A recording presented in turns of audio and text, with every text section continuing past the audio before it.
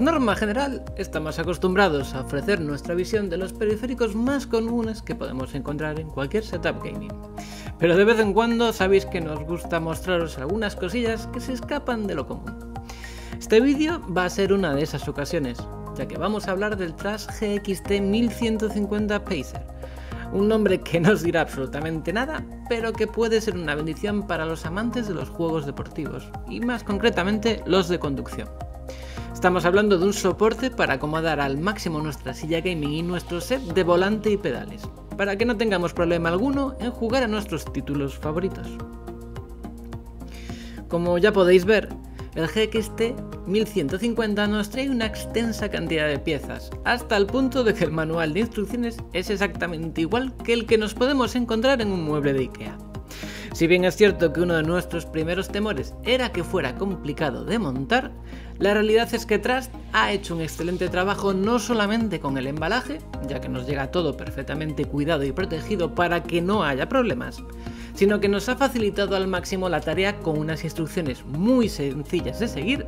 incluye todas las herramientas necesarias y por si fuera poco, la tornillería y todo lo necesario nos llega perfectamente ordenado y numerado para que perderse sea francamente complicado. Una vez lo tenemos todo fuera de su embalaje, ya solo nos queda comenzar a unir piezas y construir esta estructura metálica que nos permitirá crear un setup perfecto para los juegos de conducción, siempre teniendo en cuenta que para poder usarla vamos a necesitar una silla gaming o de oficina compatible, Solo necesitaremos una silla con una estructura de ruedas. Una vez hemos comenzado el montaje, el cual podemos completar en tan solo una media hora o algo más si no estamos acostumbrados a estas tareas, ya comenzamos a darnos cuenta de que no han querido escatimar en los materiales de construcción. Todo lo que estáis viendo está diseñado a partir de metal, bastante robusto y que no tiene pinta alguna de que vaya a romperse con facilidad,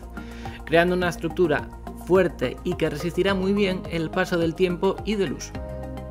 Esta consta de una parte en la que tendremos que conectar a la silla, eliminando dos de sus ruedas para anclarlo a la estructura, una base para colocar los pedales y otra para el volante, el cual también tiene un hueco para utilizar una palanca de cambio de marcha si tenemos una, pudiendo además ponerlo tanto a mano derecha como izquierda, por lo que también es una estructura pensado también para los zurdos. Como no todo el mundo tiene el mismo suelo en la habitación, la base de toda la estructura tiene unas patas engomadas que nos van a ofrecer el agarre necesario, pudiendo utilizar el GXT 1150 Pacer tanto en moqueta o alfombras, suelos cerámicos, tarima, parqué y demás. De esta manera nos aseguramos que vayamos a tener el máximo soporte para que en una curva muy cerrada no nos vayamos de lado y haya un accidente de verdad en nuestra habitación. La estructura donde se asientan los pedales cuenta con la posibilidad de nivelar su altura, pudiendo dejarlo más o menos horizontal según nuestras preferencias. Todo es totalmente configurable permitiéndonos acercar o alejar la silla, subir y bajar el volante e incluso acercarlo o alejarlo, por lo que las opciones de configuración son tremendas, no dejando nada al azar. Trust también ha querido que se queden fuera muy pocos usuarios de volantes y ha creado un diseño universal que va a funcionar con la inmensa mayoría de fabricantes. Nosotros lo hemos probado con un Logitech G29, pudiendo atornillar a la base tanto los pedales como el volante para una sujeción total. Esto nos permite sacarle el mayor partido posible a nuestro setup, ya que nos ofrece un apoyo idóneo que no se va a mover ni lo más mínimo, creando un ecosistema específico para esta clase de juegos, lo que siempre va a darnos un plus de rendimiento extra. Una vez tenemos todo montado en su sitio, solo nos quedaría adecuar el espacio a nuestras exigencias de altura y preferencias, haciendo que sea bastante sencillo poder cambiar de usuarios en tan solo unos pocos minutos y sin necesidad de desmontar nada. Simplemente con variar la altura y la longitud de la silla, la estructura, gracias a las distintas ruedas y abrazaderas que hay distribuidas estratégicamente, no necesitamos mucho para cambiarlo y dejarlo todo perfecto y a nuestro gusto. Como podemos ver, tanto en la estructura de los pedales como en la del volante, tenemos los huecos necesarios para atornillar y ajustar a la perfección nuestros periféricos, cerciorándonos de que muy pocos no van a poder ajustarse y asegurándonos la propia marca que muy poquitos se quedan fuera. Lo que sí que nos ha parecido un poco más incómodo es el tema de guardarlo, y es que cada vez que dejemos de usarlo vamos a necesitar quitarle la silla, volver a colocarle las dos ruedas que le hemos sacado y guardarlo todo. Si queremos volverlo lo más portátil posible vamos a necesitar quitarle las barras, algo que no nos va a llevar más de 5 minutos pero que en todo caso va a ser un trabajo extra, por lo que debemos tener esto en cuenta. Es cierto que podemos dejar la estructura montada siempre, solo retirando la silla y poniéndole las ruedas, pero entonces necesitaremos un lugar específico para guardarlo o como mínimo apoyarlo.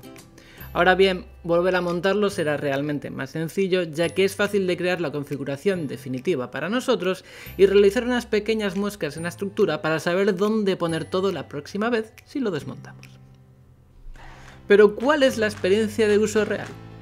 Aquí debemos distinguir dos partes y es que estamos ante un dispositivo que vamos a tener que montar desde cero como si fuera un mueble y que nos va a ofrecer una experiencia de uso, aunque el resultado en ambos casos es el mismo. Trust nos ha impresionado. El montaje nos preocupaba, ya que muchas veces estas cosas se pueden complicar y si no quedan bien montadas son un desastre, pero lo cierto es que la experiencia es una maravilla, estando todo tremendamente bien explicado y tan ordenado que es casi imposible perderse. En cuanto a la experiencia de uso, tal y como podéis ver a nuestro querido analista, Juan Zas, se lo está pasando en grande y es que no hay un solo pero que podamos ponerle. La estructura es robusta, no dejará marcas en el suelo y no se mueve lo más mínimo por mucho que contravolonteemos, siendo además altamente configurable. Si bien es cierto que la inversión no es precisamente pequeña, la sensación de estar metido en un cockpit de competición se va a volver más grande gracias al Trash GXT 1150, y ya si lo hacemos delante de un sistema de monitores, la sensación va a ser total.